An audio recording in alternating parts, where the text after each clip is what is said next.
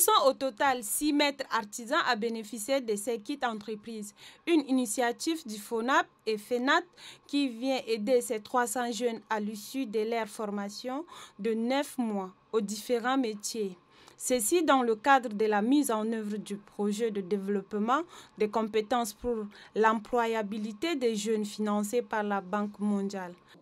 Le but ultime de cette formation est de permettre à l'apprenant d'intégrer de manière active le processus de production dès la phase d'acquisition de connaissances pour le président de FENAT, cette formation accorde une priorité à la formation au métier comme nouveau paradigme pour l'employabilité des jeunes. Le MA, qui est appelé le maître artisan, ne peut encadrer que plus de trois apprentis, afin que celui-ci ait le temps suffisant et les moyens techniques adéquats de transférer les compétences nécessaires aux jeunes apprentis placés auprès de son entreprise.